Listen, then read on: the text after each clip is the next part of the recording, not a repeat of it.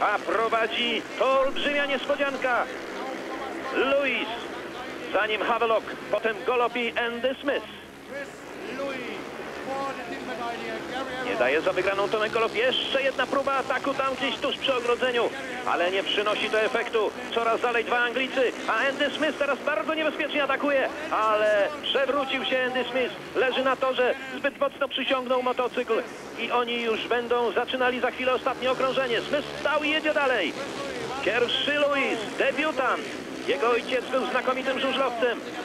A jego żoną, żoną oczywiście ojca Chrisa Luisa jest również Polka, pani Magdalena Zimny-Louis. A więc wszyscy jakby mamy coś wspólnego z Polską, patrząc tutaj na tych zawodników na torze. I koniec. Chris Lewis, Gary Havelock i trzeci dopiero Tomasz Golob. Może, może przykra niespodzianka, ale bałem się tego biegu. I miałem rację. Nie wszystko jeszcze stracone. Po trzy punkty Luis, Nielsen, Ermolenko i Gustafsson po pierwszej serii wyścigów. Nasza golowa w pierwszym wyścigu podczas finału indywidualnych Mistrzostw Świata w Poking. A my oglądamy bieg piąty, gdzie Chrisa Luisa w czerwonym kasku u góry ekranu sprawdzi sam Ermolenko w kasku białym. Piorunujący start Luisa właśnie w biegu z golobem. A teraz także dobrze, dobrze, ale Ermolenko jest pierwszy. Ermolenko i Chris Lewis, ale atakuje go tam od zewnętrznej strony. Jadący w żółtym kasku Lee Adams, a z tyłu faworyt gospodarzy Gert Rees. Nie zmienia się kolejność. Ermolenko pierwszy. Troszkę zwiększa przewagę nad swoimi rywalami, ale do Luisa dochodzą i Rees i Adams. W dalszym ciągu walka o to trzecie miejsce. Mówiłem Państwu, tu każdy punkt się liczy. Czyżby teraz udany atak był? Nie. Nie udało się, nie udało się Adamsowi wyprzedzić Luisa. To będzie niespodzianka. Chris Lewis, młodziutki debiutant, będzie miał 5 punktów. Odpukajmy, bo przecież jeszcze troszkę dystansu do przejechania. Jeszcze jedno okrążenie, a zaciekle cały czas atakuje Chrisa Luisa, jadący w żółtym kasku Australijczyk Lee Adams. Z tyłu Gert Rees powiedział, że jest jedynym amatorem wśród profesjonalistów 15, którzy wystąpią na tym torze. To taka asekuracja i powiedział, nie porównujcie mnie z Egonem Millerem, który 10 lat temu wywalczył złoty medal e, dla Niemiec. Teraz daleko pod bandę odszedł e, Chris Lewis, ale jest drugi, a więc Ermolenko 5 punktów po dwóch startach i Chris Lewis. Ermolenko 6 punktów po dwóch startach i Chris Lewis 5 punktów. Niespodzianka młodego Anglika. Trzeci Adams, czwarty Rees.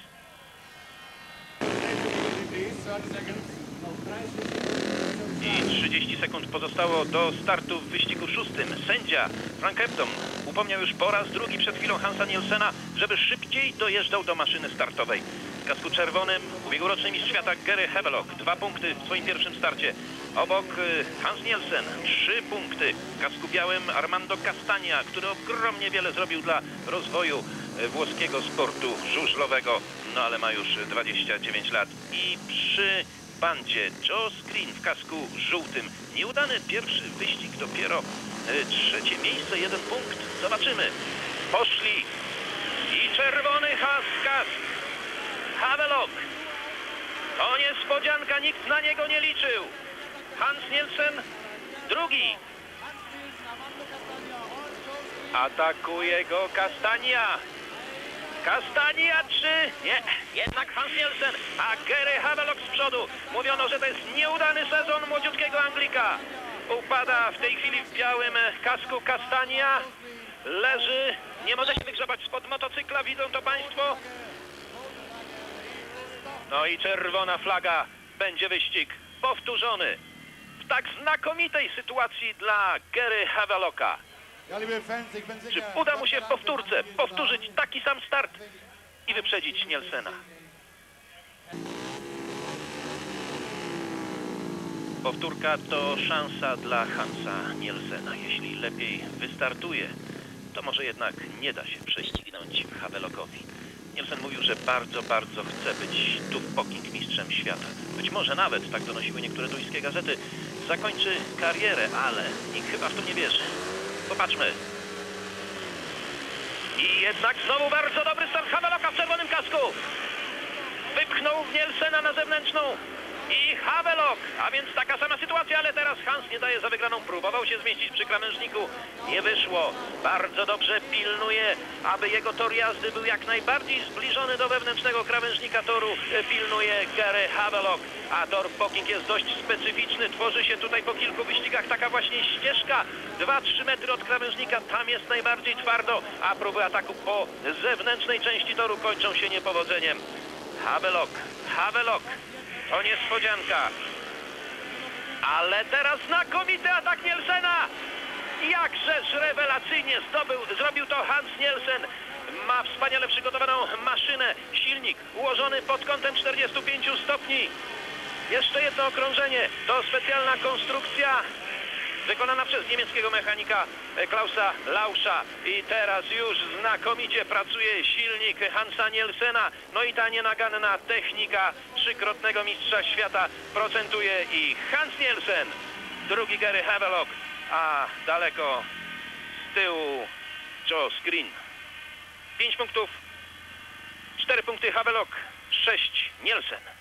Tyle samo co Ermolenko.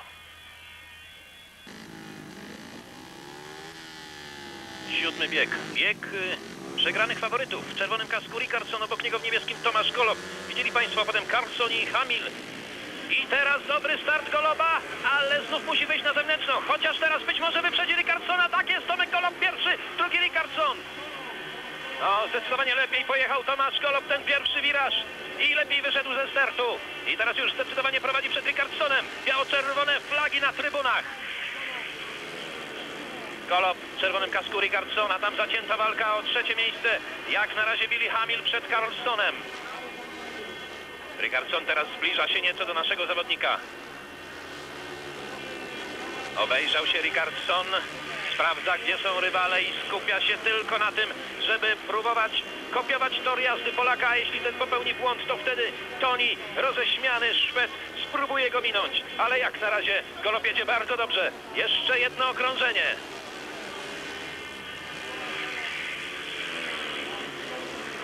I teraz błąd. Widzieli Państwo, troszkę źle ustawił maszynę Tomasz Golob do wyjścia z tego wirażu, ale na szczęście utrzymał te kilka metrów przewagi. Teraz jeszcze szalony atak Rickardsona. Nie da rady. Tomasz Golob. Drugi Rickardson, a więc trzy punkty Tomka Goloba i ma cztery po dwóch startach. Rickardson trzy, a z kompletem punktów po dwóch startach, czyli sześcioma punktami są Ermolenko i Nielsen. Pięć punktów Luis, cztery punkty Havelock. Pomału zaczyna krystalizować się czołówka tych 48 już w historii zawodów o tytuł indywidualnego mistrza świata w zawodach żużlowych. Będziemy, proszę Państwa, czekali z napięciem. Popatrzmy raz jeszcze. No, nie było widać tutaj tego startu. Bardziej chyba reali- realizatorzy koncentrują się na walce o to trzecie miejsce w żółtym kasku. Widzą Państwo właśnie Amerykanin Billy Hamil i Szwed Carlson. Bardzo go próbuje zaatakować i łokciem teraz zastawia się. Widzą to Państwo, jak wepchnął się łokciem i całym ciałem przed zawodnika szwedzkiego Amerykanin. Ale tak się jeździ teraz na żużlu, proszę Państwa. Nogi, łokcie, tułów, to wszystko pracuje przy ogromnym szacunku dla rywala. Nie ma fauli i proszę zobaczyć, jak teraz musiał gwałtownie no, hamować, wręcz położyć się na to, że ten zawodnik w żółtym kasku, Amerykanin Hamil, żeby ustawić motocykl w dobrym uślizgu i dobrze y, przejść ten wiraż. Bardzo ciekawe ujęcie i myślę, że mogli Państwo zobaczyć kawałek takiego prawdziwego żużla, bo właśnie na tych zbliżeniach w telewizji, powtórkach widać całe piękno tego sportu. Nielsen i Jermolenko po 6 punktów, Luis 5, Golob 4. Jeszcze nie wszystko stracone. Usłyszymy się znów za kilka... Obok niego sam Ermolenko, 6 punktów, niepokonany do tej pory, dwa starty, dwa zwycięstwa i Tomasz Golob, jedno zwycięstwo i trzecie miejsce, w sumie cztery punkty. Tomek powinien tutaj być co najmniej drugi, jeśli chciałby się jeszcze w ogóle liczyć, a czołówka po dwóch startach każdego zawodnika to Nielsen i Ermolenko po punktów 6. Młodziutki Chris Lewis, 5, to Anglik, Havelock, Golob i Gustafsson po 4 punkty. A więc szalenie ważny wyścig. Biały kask Tomasz Golob. Dobry start, nie, nie najlepszy start Goloba, zamknięty i podcięty w tej chwili przed zawodnika z numerem piątym, a więc sama Morenkę. Leży Golob i leży także w żółtym kasku Kastania. Przerwany wyścig, leży Tomasz Golob. Nie podnosi się, teraz z trudem dopiero wstaje. Ach, jakaż straszna sytuacja. Nie pokazują Państwu tego kamery. Leży Tomasz Golob. W tej chwili podjeżdża powoli w to właśnie miejsce y, w kasku czerwonym Hancock, a to Tomasz Golob. Skulony z bólu. Bardzo mocno podciął go tutaj Ermolenko. No ale po prostu żaden z tych trzech zawodników nie odpuścił. Proszę popatrzeć. W niebieskim kasku z numerem Ermolenko. Wypchnięty najpierw przez Hancocka. Sam składa się mocno i uderza tylnym kołem w tylne koło e, Goloba. Golob uderza w kastanie i wszyscy dwaj, obaj leżą. Karetka wyjeżdża na tor, ale chyba nie będzie to potrzebne.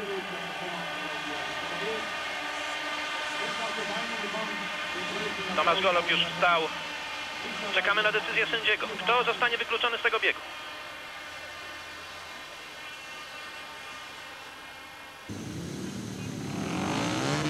Decyzja Franka Ebdona. Bieg powtórzony w pełnym składzie. Tak się zazwyczaj dzieje, kiedy sędzia po prostu no, nie może ustalić, który z zawodników był winny, a kolizja zdarza się na pierwszym wirażu. A więc druga szansa dla Tomasza Goloba w białym kasku. Trzeci od góry ekranu. Popatrzmy. Znów znakomity start. Tak, słaby start Goloba, ale niespodzianka z numerem drugim. Kastania pierwszy, a Golob już jest trzeci. Drugi Ermolenko.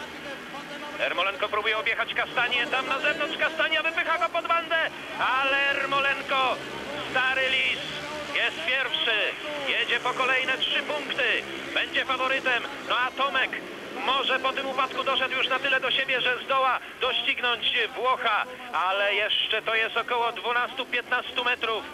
Jedzie szeroko Tomasz Golob, może zbyt szeroko w tej chwili. Arman do Kastania pilnuje krawężnika, widzą Państwo z piętnastką w białym kasku. Golob próbuje teraz zaatakować, jeszcze nie tym razem. Może jeszcze nie czuje się tak dobrze. Zostało jeszcze jedno okrążenie. Atakuje Tomasz Golob po zewnętrznej z przodu. Samer Molenko w niebieskim kasku i teraz Kastania czy Golob? Golob! Golob! Tomek! Tak jest! Tak jest, dwa punkty Tomka Goloba, chyba pewne. I teraz próbuje jeszcze zaatakować Ermolenka, ale chyba nie da rady, bo to jest zbyt duża odległość. Pierwszy w niebieskim kasku Ermolenko, trzy punkty bez porażki. Drugi Tomasz Golob, dwa punkty i będzie ich miał sześć po trzech startach. Brawo Tomek po tym upadku. Jednak spisał się znakomicie i te radosne gesty, a teraz pokazuje tak palcem do przodu. Może to Państwo widzieli na swoich ekranach na sama Ermolenkę. Jakby tłumacząc polskim kibicom, to przez tego faceta byłem drugi, bo tak załatwił mnie na pierwszym wirażu. No ale oczywiście to są te nerwy i tylko nasze domysły, a może po prostu pokazywał kibicom na mistrza świata.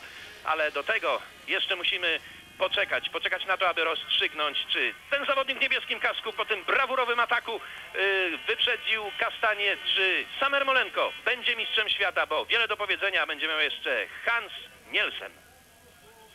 48. finał indywidualnych Mistrzostw Świata na żużlu. Bieg 15. Bieg, który może decydować o tytule Mistrza Świata. W czerwonym kasku przed chwilą Andy Smith, Wielka Brytania. Fatalny początek, ale potem drugie dwa punkty, drugie miejsce i zwycięstwo. W sumie pięć.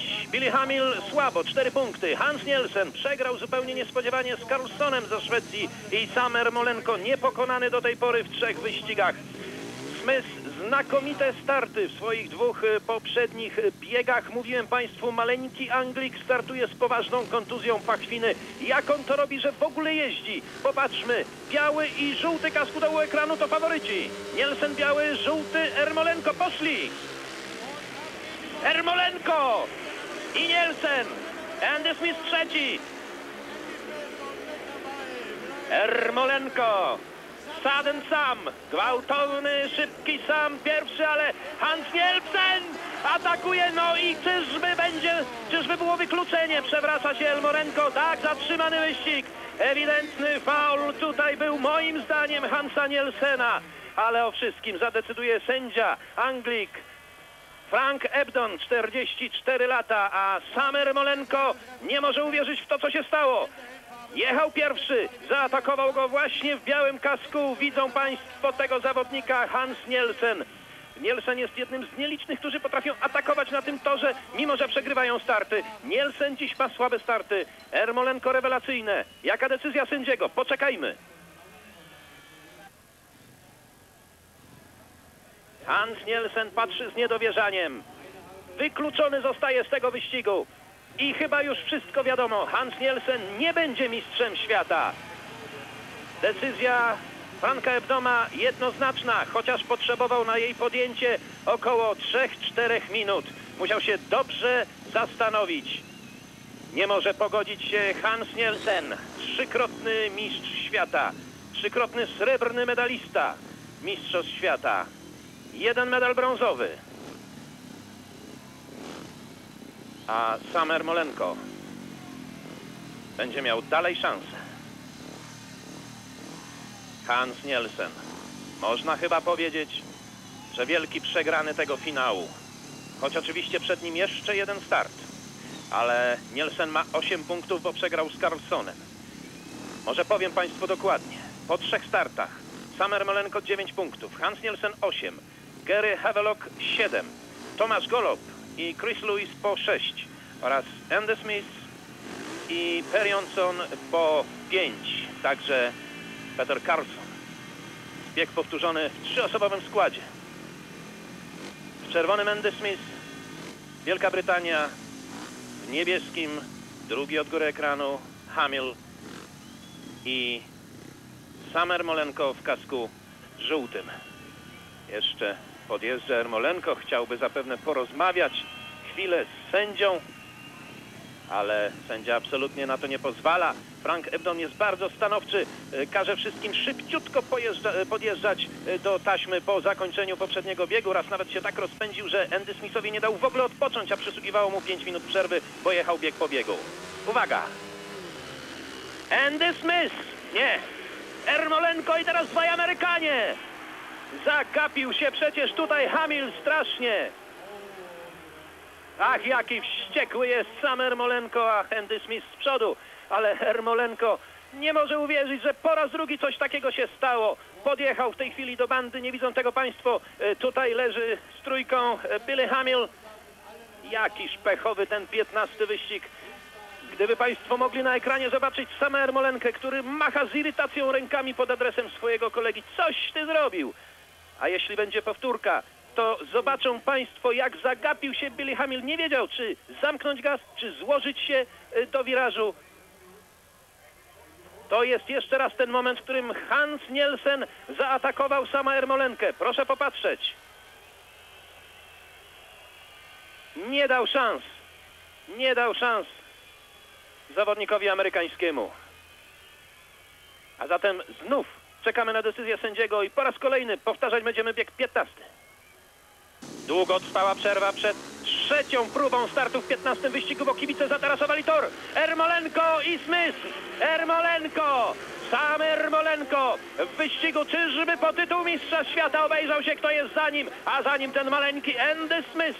Niesłychanie ambitny zawodnik, który słabiutko zaczął od czwartego miejsca, ale potem walczył zacięcie z Perem Jonsonem, przegrał na ostatnim łuku, przyjechał drugi, a kolejny swój wyścig wygrał i ma pięć punktów do tej pory yy, i próbuje jeszcze ciągle zagrozić samowi Ermolence. Yy, Nie liczy się już zupełnie z tyłu w niebieskim kasku Billy Hamil. Ermolenko cały czas próbuje kontrolować ten wyścig. Numer 5. Sam Ermolenko.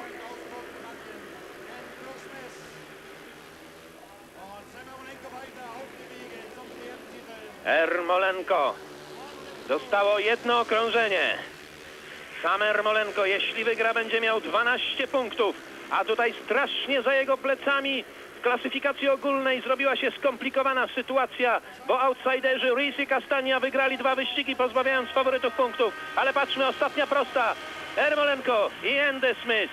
Trzy punkty dla Ermolenki, w sumie 12 i zdecydowane prowadzenie.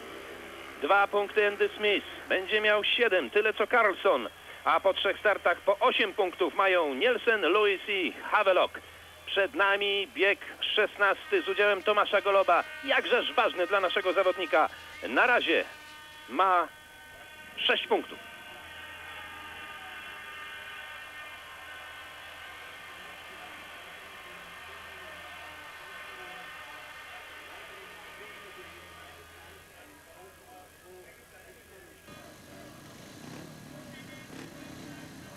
Tomasz Golob przy ogrodzeniu.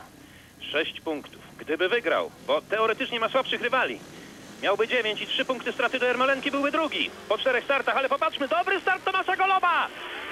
Dobry i prowadzi Tomek Golob! Tomasz Golob, trybuny szaleją, biało-czerwone flagi w górze. Ale Henka Gustafsson w białym kasku nie daje za wygraną i także Joe Screen, mistrz świata juniorów z tego roku, ale pierwszy jest Tomek Golob. Nic nie będę mówił, niech Państwo popatrzą na jazdę tego zawodnika z numerem 15. Tomek Golob.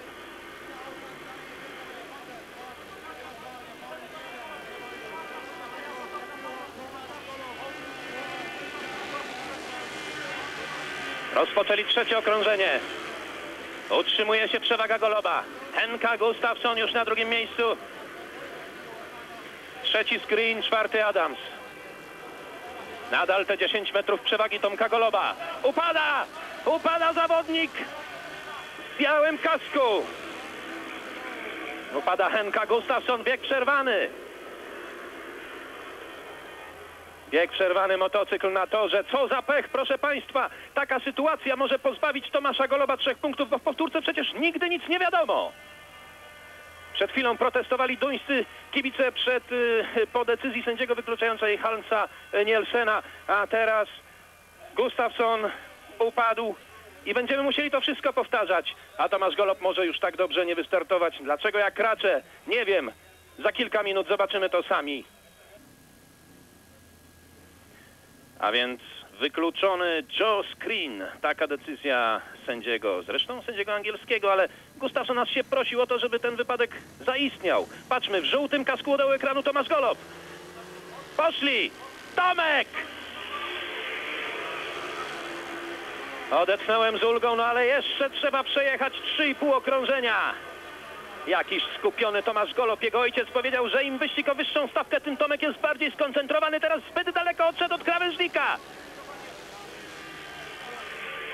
No niech nie powtarza tego błędu, bo Henka Gustafsson przecież też potrafi jeździć. Tomek bliżej krawężnika. Henka Gustafsson daleko, ale bliziutko jedzie krawężnika. No i widzieli Państwo, jak teraz Tomasz Golob się otarł w prosobandę. Dlaczego on jedzie tak szeroko? Dlaczego jest tak zdenerwowany? Jeszcze raz obejrzał się na Gustafsona. Jeszcze muszą przejechać dwa okrążenia. Tomek, co ty robisz?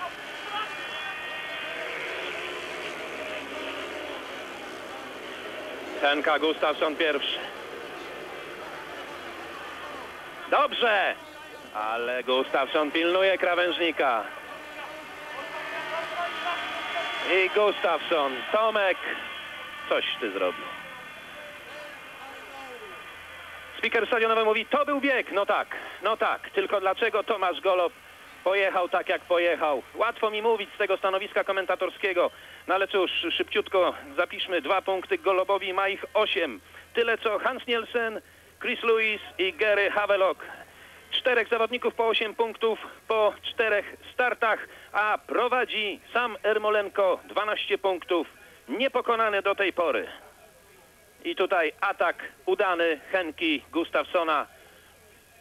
I to ta porażka na, na życzenie właściwie Tomasza Goloba. Może obrazi się na mnie klan Golobów, ale źle taktycznie pojechał to Tomek.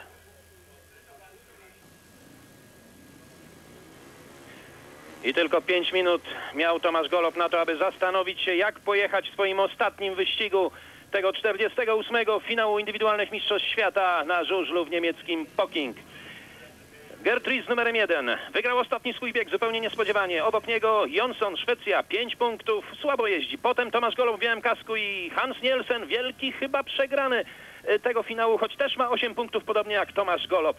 Y, Golob Nielsen. Dotychczas spotykali się wielokrotnie na dużej klasy imprezach. 5-4 w tych pojedynkach prowadzi Tomasz Golob, ale przecież to jest zupełnie inny bieg. Hans Nielsen tak się zdenerwował, że podjechał przed chwilą bez pokrowca tego żółtego na swoim kasku. Y, No i teraz wreszcie już są gotowi. Faworyci z lewej strony ekranu. Nielsen. Nielsen i Tomek drugi. Trzeci Per Jonsson. I Gertrud z tyłu. Popatrzmy na jazdę Tomka Goloba. No bliżej, już bliżej krawężnika, chociaż teraz znów odchodzi zbyt daleko. Aż zaczepia prawie o bandę. Dlaczego jedzie tak Tomek Golob? Per Jonsson po słabym początku pokazuje, że potrafi też jeździć. To w końcu mistrz świata e, sprzed dwóch lat. Tomek Golob, czyżby jego silnik nie pracował tak dobrze, bo przecież atakuje go nawet. I Tomasz Golob już jest, no trzeba to powiedzieć, czwarty.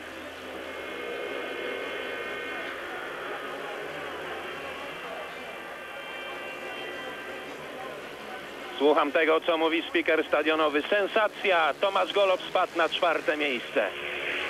A z przodu Hans Nielsen. Drugi Gerd Ries. I teraz atakuje w niebieskim kasku Per Jonsson. Czy da radę? Tomek Golob niestety daleko z tyłu. Gerd Ries będzie drugi. Radość na trybunach. Pierwszy Hans Nielsen, drugi Gerd Ries. Trzeci Per Jonsson i czwarty łapiący się za głowę Tomasz Golob.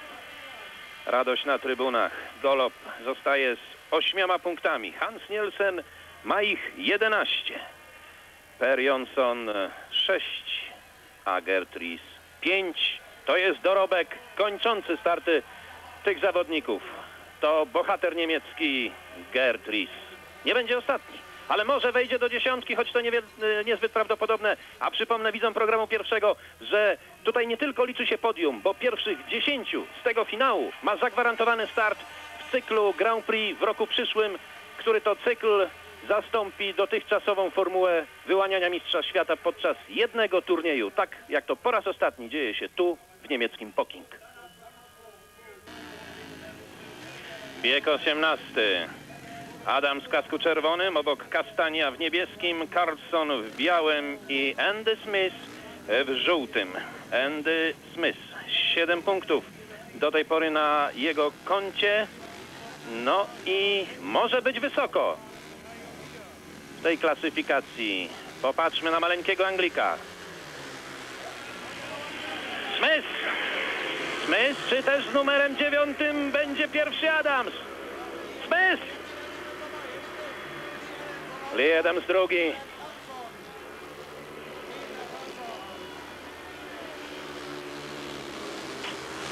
Andy Smith z przodu, ale teraz jeszcze atakuje zawzięcie w białym kasku Peter Carlson. No i Kastania tam się dzielnie trzyma za plecami tego zawodnika, który prowadzi w żółtym kasku Andy Smith. Tylko czy wytrzyma to kondycyjnie? Powtarzam raz jeszcze, maleńki Andy jeździ z poważną kontuzją pachwiny. Armando Castania daleko z tyłu. Jeszcze zostało im jedno okrążenie. Andy Smith. Niesamowicie waleczny zawodnik. Poobijany wielokrotnie. Mnóstwo kontuzji. Czy wytrzyma? Ostatni wiraż atakuje go zawzięcie Lee Adams, który niezbyt się liczy w tym wyścigu. Nie, jednak Andy Smith. Trzy punkty dla Andiego. No i razem ma ich 10. To, proszę Państwa, spora niespodzianka. Za Hansen Nielsenem tylko jeden punkt. No i, no i być może Andy Smith wywalczy tu brązowy medal, ale rozstrzygną to wszystko. Następne dwa wyścigi.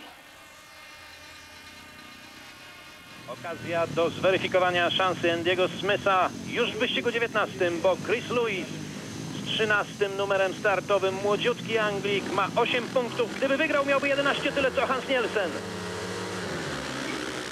Lewis! Sensacja! Ale, ale... Atak Hamila. Amerykanin się nie poddaje. I teraz jeszcze Joe Screen z drugiej strony próbują atakować młodziutkiego Chrisa Lewisa i chyba Amerykaninowi się to uda. Ale Chris próbuje teraz zejść do krawężnika. Billy Hamill czy Chris Lewis? Jego ojciec John Lewis na pewno ogląda to z ogromnym napięciem, podobnie jak żona Johna, Magda Polka z pochodzenia Magda Lewis. Ale jednak Billy Hamill. Chris Lewis jeszcze walczy, co za pasjonująca walka. I Chris Lewis. Jeszcze jedno okrążenie i troszkę prostej. Hamil wściekle walczy, ale Lewis pierwszy. trzeci screen, czwarty Hancock, ale to nieważne. Ważne jest, kto będzie tutaj pierwszy. I kto stanie do barażu z Hansem Nielsenem. Chris Lewis. W górze kołatki, trąbki kibiców angielskich. Rewelacja, rewelacja podczas tego turnieju w Poking. Młodziutki Chris Lewis, debiutant. 11 punktów, tyle co ogólny faworyt Hans Nielsen.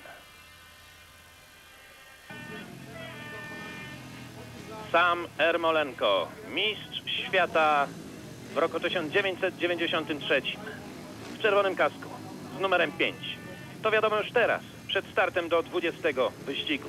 12 punktów Ermolenki, 11, a już zakończyli swoje występy Luisa i Nielsena. Obok e, sama Ermolenki w czerwonym kasku pojedzie w niebieskim Gary Havelock, 8 punktów na koncie. Później słabiutko wypadający dzisiaj Tony Rickardson, 3 punkty ledwie i przy bandzie Henka Gustafsson 7 punktów. Ci trzej zawodnicy Ermolenko, Havelock i Gustafsson wyprzedzą jeszcze Goloba. A może nie wszyscy z nich. Sam Ermolenko, ale Gary Havelock i z numerem czwartym Henka Gustafsson. Gustafsson pierwszy. Gustafsson pierwszy, Havelock drugi, Ermolenko ostatni. Czyżby sam cieszył się już tak bardzo, że teraz pozwoli walczyć innym? Gustafsson.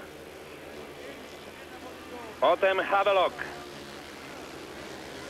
I Tony Rickardson.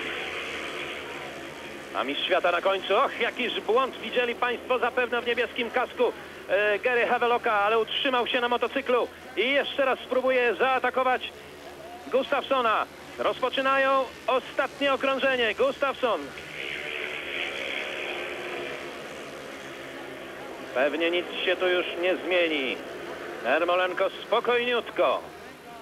Mistrz świata ulgowo potraktował ten bieg. A zwycięża Gustafsson. Na drugiej pozycji Gary Havelock. I to prowadzi nas do bardzo ciekawej końcówki. Albowiem po 20 regulaminowych biegach sam Ermolenko mistrz świata 12 punktów. Kto srebrnym medalistą? Chris Lewis czy Hans Nielsen? Po obaj po 11 punktów. A później Andy Smith 10, Gary Havelock 10 i Henka Gustafsson także 10. A za nimi na siódmej pozycji uplasuje się Tomasz Golob. To jest troszkę poniżej tych oczekiwań, o których mówił, że chciałby być w szóstce. Wszak awans Polaka z walki, a nie na prawach gospodarza to i tak duży sukces. Ale najważniejsze, że Tomasz Golob zakwalifikował się do serii Grand Prix w roku przyszłym. Są tam na pewno ten zawodnik, mistrz świata Sam Ermolenko, Chris Lewis, Hans Nielsen, Andy Smith, Gary Havelock, Henka Gustafsson, Tomasz Golob. Jest także Peter Carlson. Będzie prawdopodobnie Bill Hamill. No i powinniśmy spokojnie to wszystko podliczyć, czekając na barażowy bieg, którego stawką będzie srebrny medal. I oto dwaj bohaterowie końcowego fragmentu tego, przypominam raz jeszcze, ostatniego według dotychczas stosowanej formuły rozgrywanego finału indywidualnych mistrzostw świata.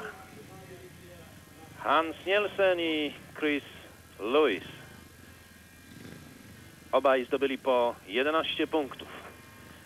W kasku niebieskim z numerem 10 Hans Nielsen wybrał tor przy krawężniku, aczkolwiek wydaje mi się, że sędzia stwierdził, że została tutaj źle dokonana zmiana tych kasków, ale jednak widzę, że w kasku żółtym Chris Lewis, młodziutki Anglik, jest tutaj tuż przy krawężniku. Chris Lewis 24 lata. Indywidualny mistrz świata juniorów w roku 1990. I są już gotowi. tuż przy krawężniku, bliziuteńko. Aż nogą na trawie stoi Hans Nielsen, a tam daleko przy ogrodzeniu Chris Lewis. Stawką srebrny medal. Nielsen. Nielsen, ale Chris Lewis, och, omal nie zaskoczył starego Lisa, który spodziewał się chyba ataku od wewnętrznej strony, bo tam się przez moment spojrzał. Hans Nielsen jedzie po srebro, aż srebrny medal i tylko srebrny medal. Bo liczył na to, że tutaj zdobędzie swój 20 złoty medal we wszystkich konkurencjach, jakie uprawiane są na żużlu i czwarty tytuł indywidualnego mistrza świata. I będzie najlepszy w Danii, bo po trzy tytuły mają także Ole Olsen i Erik Gundersen. Obaj oczywiście już, jak wiedzą doskonale, kibice e, żużla e, nie jeżdżą. A teraz będzie tylko czwarty srebrny medal dla Hansa Nielsena. Jeszcze jedno okrążenie. A brązowy medal i to ta olbrzymia sensacja dla młodziutkiego zawodnika z numerem 13 Chrisa Luisa. Nikt na niego nie liczył. Może on sam w skrytości ducha, choć powiedział, że sam awans do finału uważa za znakomite osiągnięcie. Hans Nielsen, srebrny medal. I mamy już tę kolejność na podium. Pierwsze miejsce i mistrz świata w roku 1993 Samer Molenko. Srebrny medal Hans Nielsen, Dania. Brązowy medal Chris Lewis, Wielka Brytania. A później czwarte miejsce Gustafsson, piąte Smith, szóste Havelock, siódme Golob, ósme Carlson, dziewiąte Hamil i dziesiąty Gerd Ries. I Gerd Ries, zawodnik niemiecki, będzie w przyszłym roku jeździł w Grand Prix. Tak kończy się 48. finał indywidualnych mistrzostw świata w Poking.